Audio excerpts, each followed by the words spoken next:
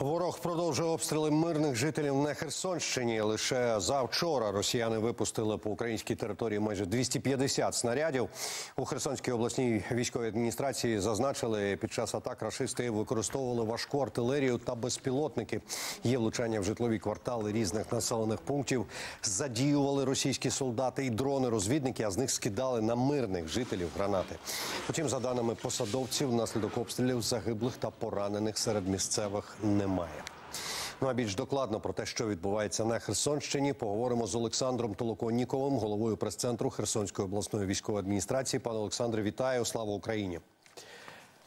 Героям слава, вітаю вас. Отже, ворог не припиняє атаки зі зведень оперативного командування Південь. Знаємо, що атакує керованими бомбами, у тому числі Херсонські та Бориславські райони.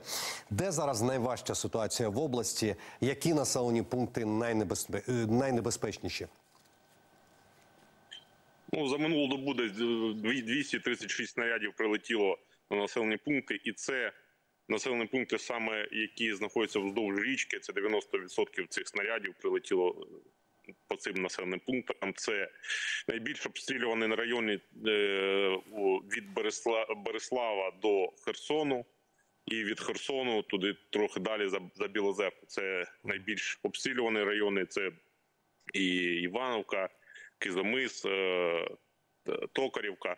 Тобто всі населені пункти, які знаходяться в червоній зоні, вони постійно обстрілюють, обстрілюють і об'єкти і інфраструктури, і об'єкти, які логістикою займаються, і ну для того, щоб я так думаю, що це робиться для того, щоб вони щоб вони якось е, е, роблять спроби для того, щоб ми не могли переправлятися на той берег, щоб не могли наступати. Але наші збройні сили все контролюють і також гатять по ним. Йде контрбатарейна боротьба постійно, і вони їх знищують на тому березі також.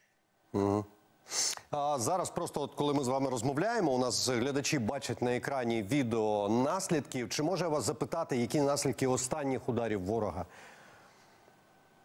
Ну, останні удари це якраз були керованими авіабомбами по е, Кизомису. Там потрапив під обстріл якраз е, е, така підприємство портового значення і е, там загинула людина, 59-річний чоловік. Е, також по Білозерці гатили, але вже такої артилерії. Там також загинув 34-річний чоловік. Постійно гатять і по Херсону, і по Береславщині. Там е, вони е, деякі попадання були і по е, енергетичній інфраструктурі, але наші енергетики все контролюють і постійно, як тільки обстріли, е, ну обстріли прекращаються, вони виїжджають на місто, все ладнають, щоб у людей було світло і могли продовжувати працювати і жити просто. І наслідки якраз руйнування цих об'єктів і руйнування житлових будинків. Люди постійно звертаються заяви, пишуть на те, що знову прилетіло знову снаряд у хаті і виїжджають піротехніки, знешкоджують ці снаряди, але ну руйнується житло, руйнуються е, адмінбудівлі. Тобто ситуація, в принципі, е, не змінилася за останній час. Скажіть, будь ласка, по-перше, чи прислухаються люди до рекомендації евакуюватися? Це перша частина. А друга, ви ж розумієте, що зараз, особливо от зараз період великодніх свят, і багато українців повертаються додому бодай ненадовго. Ну ми розуміємо, чому. А чи становить це проблему, чи піддають себе небезпеці ті, хто повертаються, навіть якщо на короткий період? Дивіться, по евакуації постійно у нас виїжджають від 50 до 80, 100 людей виїжджають, це які користуються е, саме е, безкоштовною евакуацією, яку організувала е, і міністерство ТОТ, і ми разом з ними, і вони безкоштовно їдуть в населені пункти, де їм надаються і житло, і допомога видається.